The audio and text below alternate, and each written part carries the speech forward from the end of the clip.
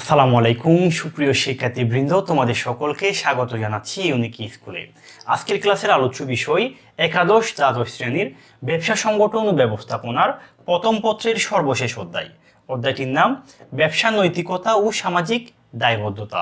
প্রথমে চলো এই অধ্যায়ের কোন কোন টপিক থেকে প্রশ্ন হতে পারে একটু দেখে নিই। জ্ঞানমূলক প্রশ্নের জন্য তোমাদের প্রশ্ন হতে পারে, মূল্যবোধ কি, ব্যবসা মূল্যবোধ কি, ব্যবসা নৈতিকতা কি, সামাজিক দায়বদ্ধতা বলতে কি বুঝো পরিবেশ দূষণ কি, বণিক সমিতি কি, এবং সর্বশেষ ব্যবসায়িক জোট কি? অনুদা জ্ঞানমূলক প্রশ্নের জন্য এই প্রশ্নগুলো খুবই গুরুত্বপূর্ণ। অনুধাবনমূলক প্রশ্নের জন্য তোমাদের সিএসআর কি ব্যাখ্যা করো? নৈতিকতা, ব্যবসায় মূল্যবোধ, মূল্যবান সম্পদ ব্যাখ্যা করো। মূল্যবোধকে নৈতিকতার ভিত্তি বলা হয় কেন? পরিবেশ সংরক্ষণ বলতে কি বুঝো? ব্যবসায় নৈতিকতা কেন প্রয়োজন? ব্যবসায় সামাজিক দায়বদ্ধতা বিষয়টি গুরুত্বপূর্ণ কেন? এবং সর্বশেষ ব্যবসায়িক মূল্যবোধ কেন প্রয়োজন? ব্যাখ্যা করো। অনুধাবনমূলক প্রশ্নের জন্য এই সাতটা প্রশ্ন খুবই গুরুত্বপূর্ণ। এবার আসে অধ্যায়ের সৃজনশীল প্রশ্নের জন্য। তোমাদের প্রশ্ন হতে পারে, ব্যবসায় সামাজিক দায়বদ্ধতার ক্ষেত্রসমূহ। এটা থ্রি স্টার এখান থেকেও সবসময় প্রশ্ন হয়ে থাকে। ব্যবসায় সামাজিক দায়বদ্ধতার গুরুত্ব থেকেও প্রশ্ন হয় অনেক সময়। তারপর পরিবেশ দূষণের প্রভাব এবং সর্বশেষ পরিবেশ সংরক্ষণের বণিক সমিতির দায়িত্ব। তোমরা সৃজনশীল প্রশ্নের জন্য এই চারটা এই চারটা বিষয় তোমরা গুরুত্ব সহকারে দেখবা। তো চলো আমরা এই অধ্যায়ের প্রথম থেকেই আজকের ক্লাসটা শুরু করি। প্রথমেই মূল্যবোধ কি? মূল্যবোধ হচ্ছে কোনো সমাজে দীর্ঘদিন ধরে গড়ে ওঠা দেন ধারণা, চিন্তা, চেতনা, বিশ্বাস, সততা ইত্যাদি সমষ্টিকে মূল্যবোধ বলা হয়। মূল্যবোধ হচ্ছে তোমার সমাজ ও রাষ্ট্রের ভিত্তি। সমাজ ও রাষ্ট্রের ভিত্তি বলা হয় তোমার এই মূল্যবোধকে। তাহলে আমরা মূল্যবোধের সংজ্ঞা কি পেলাম? মূল্যবোধ মানে হচ্ছে কোনো সমাজে গড়ে ওঠা ধ্যান ধারণা, চিন্তা, চেতনা, বিশ্বাস, সততা ইত্যাদি সমষ্টিকে মূল্যবোধ বলে। মূল্যবোধ সমাজ ও রাষ্ট্রের ভিত্তি এমসিকিউর জন্য এই পয়েন্টটা গুরুত্বপূর্ণ। এবার আসো ব্যবসায়ী মূল্যবোধ কি? ব্যবসায়ী মূল্যবোধ বলতে এমন একটা মানদণ্ডকে বোঝায় যার উপর ভিত্তি করে ব্যবসায়িক চিন্তা চেতনা, ব্যবসায়িক রীতিনীতি তথা ব্যবসায়িক কার্যক্রম পরিচালিত হয় তাকে ব্যবসায়িক মূল্যবোধ বলে। শুধু মূল্যবোধ মানে হচ্ছে সমাজে দীর্ঘদিন ধরে গড়ে ওঠা চিন্তা চেতনা, বিশ্বাস, সততা ইত্যাদি সমষ্টিকে মূল্যবোধ বলে। ব্যবসায়িক মূল্যবোধ মানে হচ্ছে যার উপর ভিত্তি করে ব্যবসায়িক কার্যক্রম পরিচালিত হয় তাকে ব্যবসায়িক মূল্যবোধ বলে। এবার আসুন নৈতিকতা। নৈতিকতা মানে হচ্ছে উচিত, অনুচিত মেনে চলা। ভালোকে গ্রহণ করা, মন্দকে বর্জন করাই হচ্ছে তোমার নৈতিকতা। এই নৈতিকতা শব্দের ইংরেজি প্রতিশব্দ হচ্ছে এথিক্স এথিক্স শব্দটি তোমার গ্রিক শব্দ ইতস হতে এসেছে। এটা এই পয়েন্টটা এমসিকিউর জন্য খুবই গুরুত্বপূর্ণ। তাহলে এথিক্স শব্দটি কোন শব্দ থেকে উৎপত্তি? গ্রিক শব্দ ইতস থেকে উৎপত্তি। এবার আসো ব্যবসায়িক নৈতিকতা। ব্যবসায়িক নৈতিকতা কি? ব্যবসায় পরিচালনার ক্ষেত্রে কোনটি সঠিক, কোনটি ভুল তা মেনে চলা, ভালোকে গ্রহণ করা, মন্দকে বর্জন করাই হচ্ছে তোমার ব্যবসায়িক নৈতিকতা। এবার আসো সামাজিক দায়বদ্ধতা। সামাজিক দায়বদ্ধতা কি? সমাজের প্রতি ব্যবসা প্রতিষ্ঠানের যে দায়িত্ব রয়েছে তাকে বলা হয় সামাজিক দায়বদ্ধতা বা সিএসআর এই সিএসআর এর পূর্ণরূপটাকে অনেক সময় প্রশ্নে জানতে চাই। সিএসআর এর পূর্ণরূপ হচ্ছে corporate social responsibility corporate social responsibility এবার আসো, সামাজিক দায়বদ্ধতার গুরুত্ব। সামাজিক দায়বদ্ধতার গুরুত্ব থেকে তোমাদের গ নাম্বার একটা প্রশ্ন হতে পারে। তাহলে সামাজিক দায়বদ্ধতার গুরুত্বগুলো কি? সমাজে, সমাজ, সামাজিক দায়বদ্ধতার ফলে একটা ব্যবসা প্রতিষ্ঠানের সুনাম বৃদ্ধি পায়। প্রতিযোগিতায় টিকে থাকে। মনে করো দুইটা ব্যবসা প্রতিষ্ঠানের মধ্যে একটা ব্যবসা প্রতিষ্ঠান সামা- সমাজের প্রতি দায়িত্ব পালন করছে আর একটা ব্যবসা প্রতিষ্ঠান সমাজের প্রতি দায়িত্ব পালন করে নাই। তাহলে স্বাভাবিকভাবেই যে প্রতিষ্ঠানটি ব্যবসায় সামাজিক দায়বদ্ধতা পালন করছে, সে কিন্তু প্রতিযোগিতায় টিকে গেল। তারপর সামাজিক দায়বদ্ধতার ফলে গ্রাহকের সাথে সম্পর্ক উন্নয়ন ঘটে, ভোক্তারাও সন্তুষ্টি হয় জাতীয় উন্নয়ন ঘটে। একটা ব্যবসা প্রতিষ্ঠান যখন তোমার কোনো সমাজের প্রতি দায়িত্ব পালন করে, সমাজের উন্নয়ন হয়। সর্বোপরি এটা রাষ্ট্রের বা জাতীয় উন্নয়ন ঘটে। তারপর সর্বশেষ তোমার সাফল্য অর্জন হয়। ব্যবসায় যে সাফল্য রয়েছে, এই সাফল্যটা ব্যবসায় সামাজিক দায়বদ্ধতা পালনের ফলে তোমার সাফল্যটা অর্জন করতে পারে। তাহলে তোমাদের যদি সামাজিক দায়বদ্ধতার গুরুত্ব নিয়ে আলোচনা করতে বলে, তোমরা এই পয়েন্টগুলো নিয়ে তোমরা ব্যাখ্যা করতে পারো। এবার আসো সামাজিক দায়বদ্ধতার ক্ষেত্রসমূহ। এই ক্ষেত্রসমূহ থেকেও তোমাদের গ এবং ঘ নাম্বারে প্রশ্ন হতে পারে। প্রশ্নটা কীভাবে হবে? তিনি হচ্ছে মনে করো একটা ব্যবসা প্রতিষ্ঠান, তিনি কোন একটা পক্ষের প্রতি দায়িত্ব পালন করবে। এখন তোমাকে জিজ্ঞেস করবে উদ্দীপকে, ক ক ব্যবসা প্রতিষ্ঠানটি সমাজের কোন পক্ষের প্রতি দায়িত্ব পালন করছে? তাহলে এটা আমাদের জানতে হবে। তাহলে চলো আমরা প্রত্যেকটা ক্ষেত্র নিয়ে একটু আলোচনা করি। প্রথমে যেটা রয়েছে সেটা হচ্ছে শ্রমিক কর্মীদের প্রতি দায়িত্ব। তাহলে একটা ব্যবসায়ীর শ্রমিক এবং কর্মীদের প্রতি দায়িত্ব কোনগুলো? দেখো, ন্যায্য পারিশ্রমিক প্রদান করা, উত্তম ব্যবহার করা, চাকরির নিরাপত্তা বিধান করা, ভবিষ্যতে পেনশনের ব্যবস্থা রাখা। এই কাজগুলো হচ্ছে তোমার শ্রমিক কর্মীদের প্রতি একটা ব্যবসা প্রতিষ্ঠানের দায়িত্ব, সামাজিক দায়িত্ব। তোমাদের এখান থেকে কিন্তু এমসিকিউ হতে পারে। এমসিকিউটা কীভাবে হবে? মনে করো ন্যায্য পারিশ্রমিক প্রদান করা। এটা কোন ধরনের দায়িত্ব? এটা হচ্ছে শ্রমিক কর্মীদের প্রতি দায়িত্ব। এবার আসো আমাদের দুই নম্বরে যেটা রয়েছে, বিনিয়োগকারীদের প্রতি দায়িত্ব। তাহলে বিনিয়োগকারীদের প্রতি দায়িত্ব কোনগুলো? আশাব্যঞ্জক লভ্যাংশ দেওয়া বিনিয়োগ বিনিয়োগকৃত অর্থের নিরাপত্তা দান, তারপর সামাজিক মর্যাদা বৃদ্ধির ব্যবস্থা গ্রহণ করা। তাহলে তোমাদের এখান থেকেও সেম প্রশ্ন হতে পারে এমসিকিউ হতে পারে, সৃজনশীল প্রশ্ন হতে পারে। মনে করো ক ব্যবসা প্রতিষ্ঠানটি, তিনি হচ্ছে কি বিনিয়োগকৃত অর্থের নিরাপত্তা প্রদান করল। এখন তোমাদের জানতে জানতে চাইতে পারে, উদ্দীপকে ক ব্যবসাটি সমাজের কোন পক্ষের প্রতি দায়িত্ব পালন করছে? তাহলে বিনিয়োগকারীদের প্রতি দায়িত্ব পালন করছে, এটা তোমাদের ব্যাখ্যা করতে হবে। এবার আসো সরকারের প্রতি দায়িত্ব। তাহলে একটা ব্যবসা প্রতিষ্ঠানের সরকারের প্রতি দায়িত্ব কি কি রয়েছে? নিয়ম নীতি, আইন কানুন মেনে চলা, নিয়মিত কর প্রদান করা, রাষ্ট্রবিরোধী কাজ থেকে বিরত থাকা, কর্মসংস্থান নিয়ে সরকারকে সহায়তা করা। এই কাজগুলো হচ্ছে তোমার সরকারের প্রতি একটা ব্যবসা প্রতিষ্ঠানের সামাজিক দায়বদ্ধতা। সরবরাহকারী ও পাওনাদারদের প্রতি দায়িত্ব।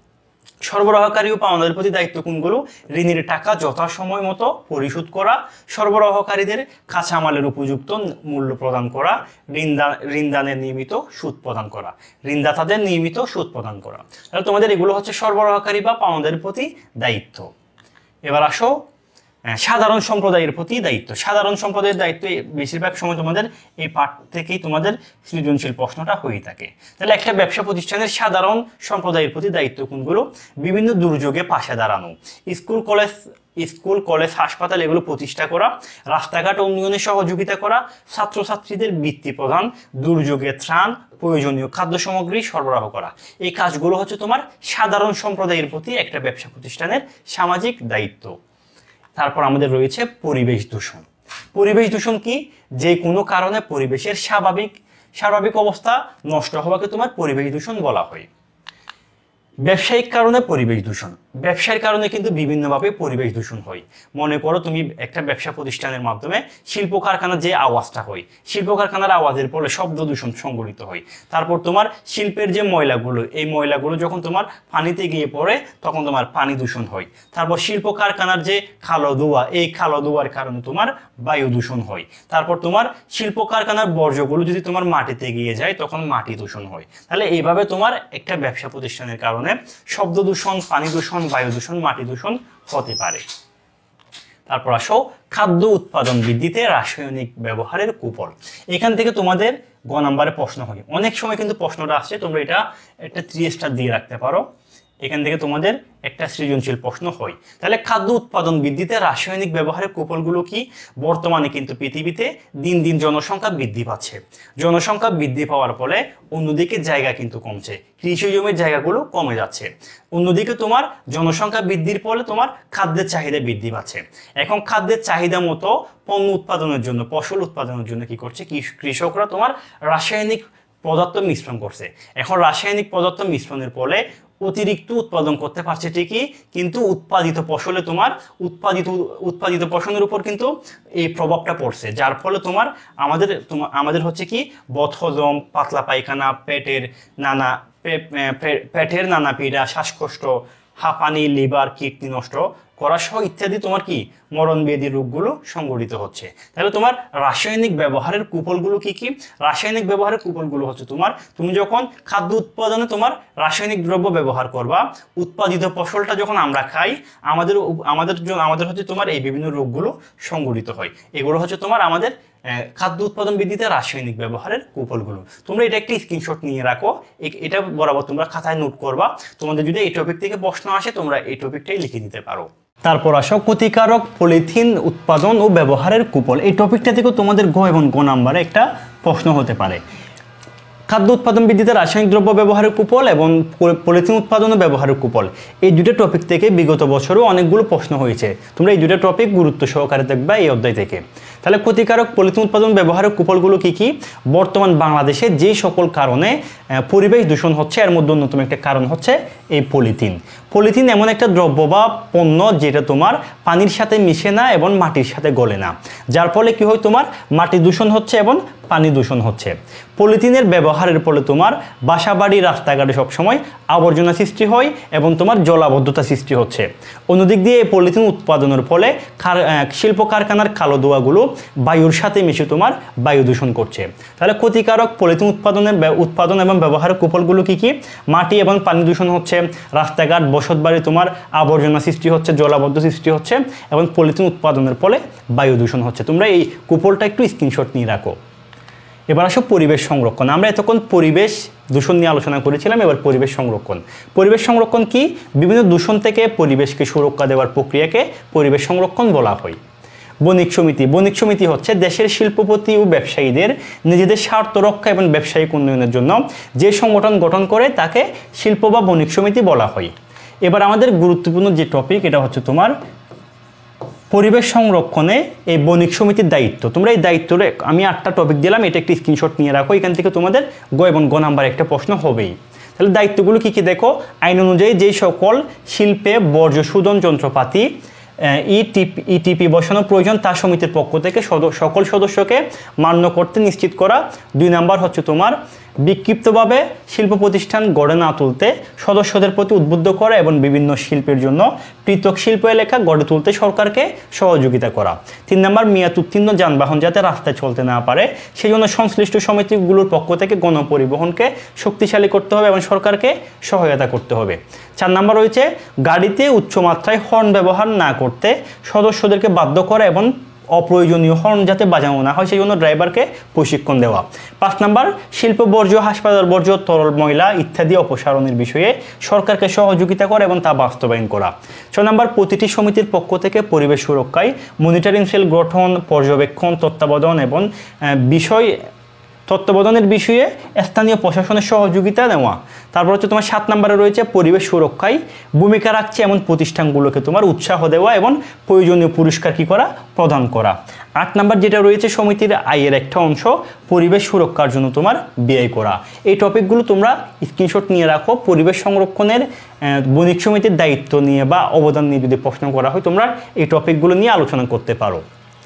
এবার আসো আমাদের সর্বশেষ টপিক, এই অধ্যায়ের পরিবেশ সংরক্ষণ পরিবেশ সংরক্ষণের আইনসমূহ।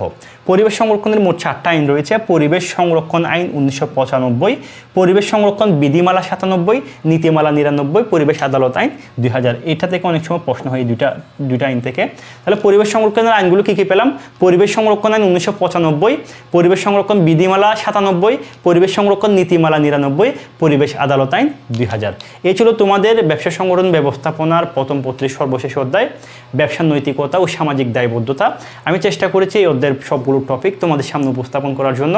আশা করছি তোমরা ক্লাসটি দেখে উপকৃত হবা, ভিডিওটি শেয়ার করে বন্ধুদেরকে উপকৃত করবা।